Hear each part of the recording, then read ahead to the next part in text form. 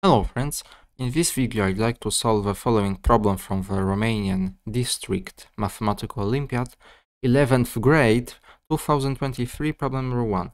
We wish to find all continuous functions f from the set of re real numbers into itself such that two conditions are met. First, f of 1 equals e, and furthermore, f of x plus y equals e to the power 3xy times f of x times f of y for all real numbers x and y.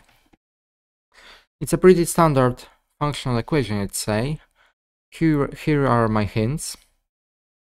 First, uh, the tricky part, the only tricky part, I'd say, is maybe maybe not the only tricky part, whatever.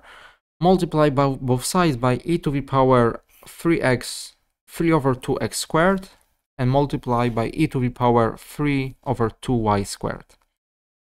Use the well-known result then that if g from the set of real numbers into itself, if it is, if it is continuous and if it satisfies Cauchy functional equation, namely g of x plus y equals g of x plus g of y, then g must be linear.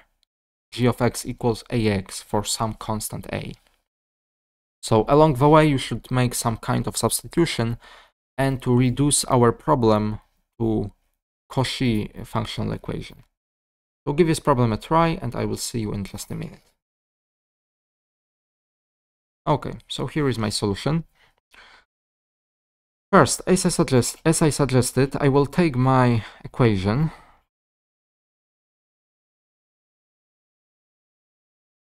and I will multiply both sides by e to the power 3x uh, 3 over 2x squared e to the power 3 over 2y squared both sides.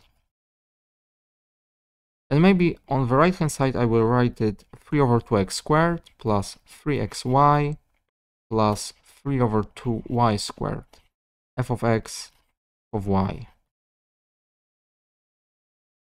what do we notice? Well, we have 3 over 2x squared e to the power 3 over 2y squared f of x plus y equals and here we can combine this uh, numerator this exponent sorry into uh, into what exactly it's 3 over 2 x plus y squared f of x f of y Perfect. And now, after first multiplying by e to the power 3 over 2x squared and so on, now I will divide. I will now divide and I will get the following. f of x plus y over, or maybe, you know what, I will maybe write with negative exponents. So e to the power minus 3 over 2 x plus y squared f of x plus y equals e to the power minus 3 over 2x squared f of x e to the power minus 3 over 2 y squared f of y. Okay, it's now looking somewhat like Cauchy functional equation, but not quite. We are not there yet. Now, it's pretty standard trick. Uh, let's consider, can our function attain value of 0? I argue that it's it it can't. So if f of y, let's say, equals 0 for some y0, let's say y0, then what do we have? What do we have? We have e to the power minus 3 over 2 x plus y sub 0 squared f of x plus y sub 0 and on the right hand side we have 0 so in other words, because x is arbitrary, our function must be constantly zero, i.e. f is constantly zero. Can it be? No, it can't. Why not? Because we are given that f of 1 equals e. So it cannot be constantly equal to 0. Contrary to f of 1 equals e. So cannot happen. So now we know. So now we know that f of y is f of uh, uh, f of y ca cannot be zero. And now let's set something. Let's set uh, x and y to be equal. Then we have the following. E to the power minus 3 over 2 2x squared f of 2 times x equals equals e to the power minus 1 half x squared f of x e to the power minus 1 half x squared f of x. And now notice something, that f of x times f of x, it's a square, and we know that it's not zero. So it must be positive. The entire right hand side is positive. It cannot be zero because we have established that f does not attain the value of zero. And remember that that is true for every x. So in other words, in other words, for every real number x, f of x is positive. So now we know that our function must be positive. And now, if I mark if I mark this crucial equation by triangle, let's say, I can now safely take natural log on both sides. So taking natural log on both sides of our condition which I mark triangle, we derive the following. Well, natural log of this, it's minus 3 over 2x plus y squared.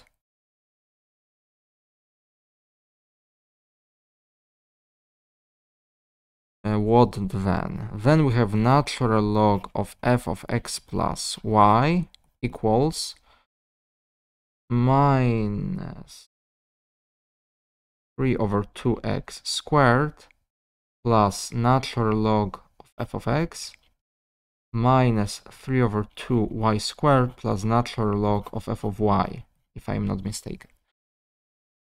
If I am not mistaken, let me take a look. It's exactly right.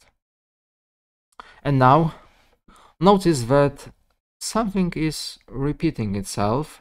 I will now call this part g of x plus y, this part is g of x, and this part is g of y, and we have Cauchy functional equation. Moreover, since f was continuous, g is continuous as well. g is continuous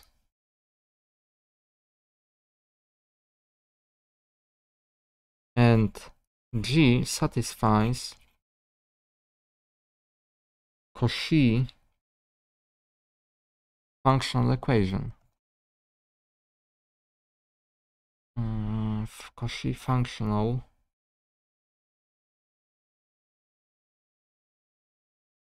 equation. By one, of, by one of my hints, that means that G must be linear we know that means that